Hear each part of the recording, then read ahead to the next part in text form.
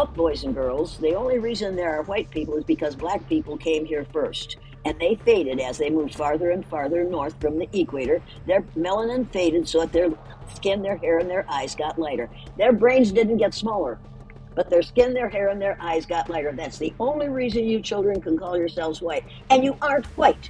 We are all shades of brown. The scientific community is in deep shock because black DNA has broken the science. It was kept a secret until now, hidden quite well. But now, we know about the DNA test that has changed everything. In 2013, a quiet DNA test from a black man in South Carolina detonated like a scientific bomb. His name was Albert Perry. No one in his family could have imagined that when his blood was drawn, it would shake the foundation of human history. What researchers found wasn't just unusual, it was impossible. His Y chromosome didn't belong to the known human story. It was older than the first man, older than the bones that built anthropology's sacred timeline, older even than the definition of Homo sapiens itself. One geneticist confessed they didn't even realize it was human at first. Another admitted they had no idea such a lineage could exist. Imagine that, a man living in the 21st century carrying DNA that science had no category for. If the textbooks are to be believed, Perry's lineage should not have survived. Yet there it was, alive and thriving. And the terrifying question that followed was simple. Had we been lied to about the true origin of humanity? In this video, let's reveal the radioactive truth.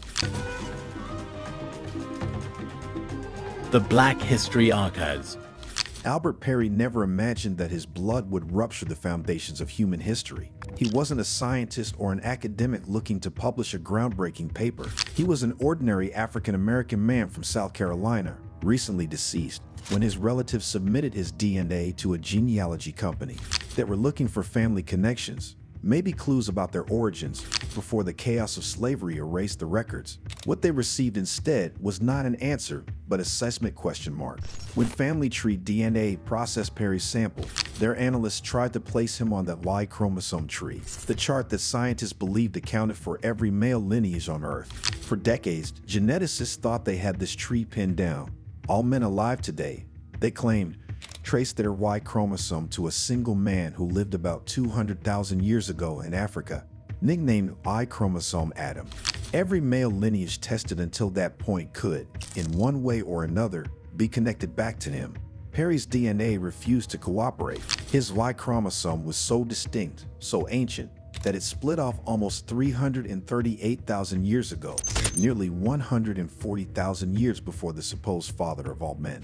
This was not a clerical error, nor a contamination problem in the lab. It was a genetic fact. Perry's lineage was older than the oldest fossils of Homo sapiens. The Moroccan remains from Jebel Irhoud, estimated at 300,000 years old, already stretched the timeline of modern humans to its limit. Perry's DNA went further back still, it suggested that his paternal line diverged long before our species, meaning his ancestry carried traces of a forgotten chapter in human prehistory. The discovery was explosive because it overturned assumptions that had become dogma. Geneticists had neatly arranged humanity's past into a linear story. That Homo sapiens evolved in Africa around 200,000 years ago, spread out across the world, and replaced all older populations. Perry's DNA disrupted that theory. It whispered that modern humans had not been alone, that other archaic groups lived alongside them, and that their bloodlines did not all vanish.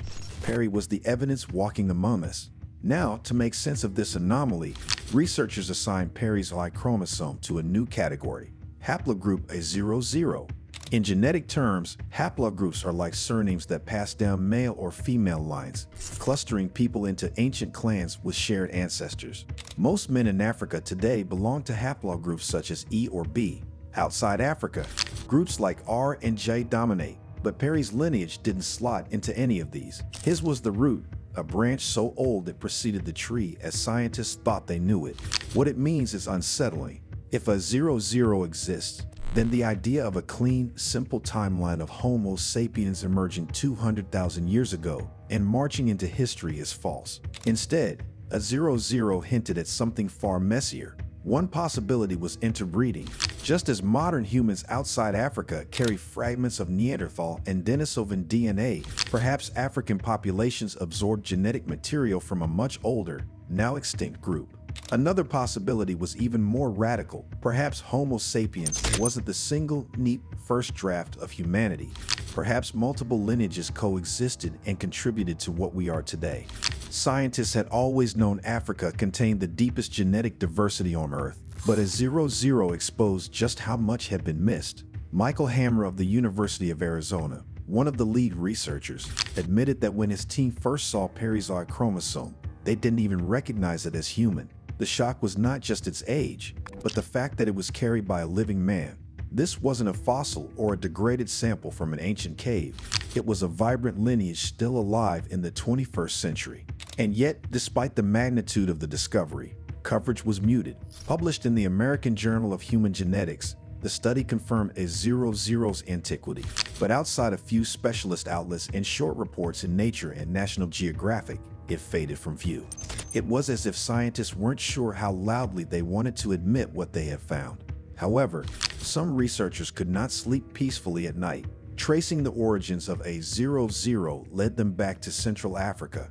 Among nearly 6,000 Y chromosome samples, Hammer's team identified 11 men whose DNA resembled Perry's. They lived in western Cameroon, particularly among the Mbo people. That region long isolated, had acted as a reservoir for this ancient lineage. On the other hand, there are some very interesting patterns. For example, hunter-gatherers seem to be, today, the hunter-gatherer populations or cultures in Africa today seem to be fragments of a much larger population in the past, maybe some 35,000 years ago in western parts of Africa. Preserving it through millennia of change. This geographic link brought the story full circle. Perry's ancestors had been enslaved Africans, uprooted from their homeland and shipped across the Atlantic under conditions designed to erase every trace of identity. Names were stripped, languages lost, history severed, but the DNA remained. Across oceans, whips, and auction blocks, Perry's bloodline carried the world's oldest genetic signature into the heart of America. That survival is rich in irony. The system that wanted to obliterate black heritage ended up smuggling into the New World the most ancient heritage of all. The discovery transformed Perry's story into more than science. It became history with teeth, a living reminder that African bloodlines are not just old, but foundational. His DNA didn't merely survive slavery, it survived prehistory itself. However, one would expect such a discovery to dominate headlines, rewrite textbooks, and reshape classrooms. It did not. Instead, it slipped quietly into the margins. Why? Part of the reason lies in science's discomfort with ambiguity. For decades, textbooks have described human origins with tidy timelines. One Adam, one Eve, one migration, one story. Perry's DNA complicated everything. A zero-zero wasn't simply an older date to add into the chart. It demanded a rethinking of how species emerge, interact, and survive.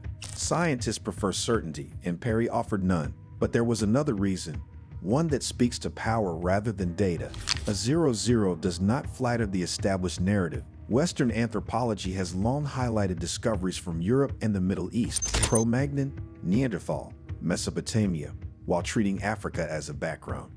Perry's DNA disrupts that framework. It demands recognition that Africa is not just humanity's cradle, but its continuous center, where the deepest genetic roots still live.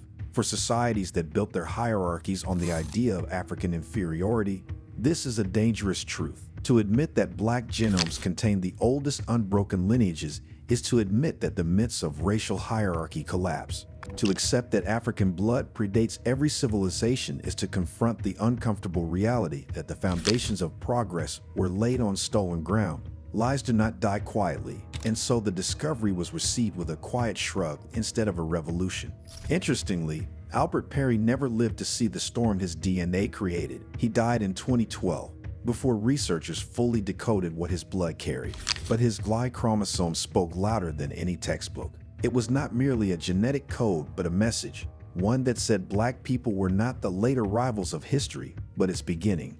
That message matters because it flips the story of power. Every system built on the notion of black inferiority relies on erasing Africa's primacy in human history. Yet Perry's lineage reminds us that the so-called minority is the majority of time itself. The most ancient, unbroken human lineages live in black bodies today. The genome of the enslaved carries more depth, diversity, and memory than the rest of the world combined. Now, forbidden questions arise. If a 00 survived, what else remains hidden in Africa's genetic landscape? Fossils from places like Iwo Eleru in Nigeria or Ishango in the Democratic Republic of Congo already suggest the presence of archaic features long after modern humans supposedly dominated the continent. These finds, coupled with Perry's DNA, point toward a complex scenario, multiple lineages coexisting, mixing, and contributing to what we call humanity. This echoes discoveries outside Africa, where modern humans interbreed with Neanderthals in the Middle East and Denisovans in Asia.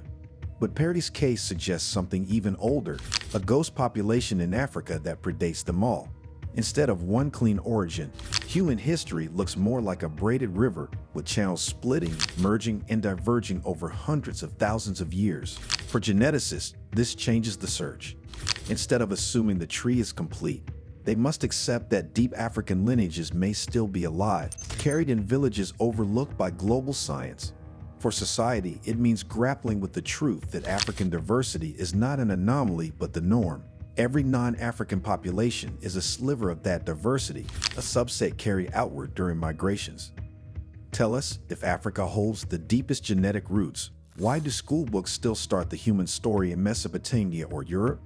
Could there be other ghost lineages hidden in plain sight, still living in remote African villages? Isn't it true that if the DNA of all black people in the world is studied, we will know about forbidden things which will be too much to handle? Would you like us to make more videos? If yes, please support us by subscribing to the Black History Archives and clicking the bell icon.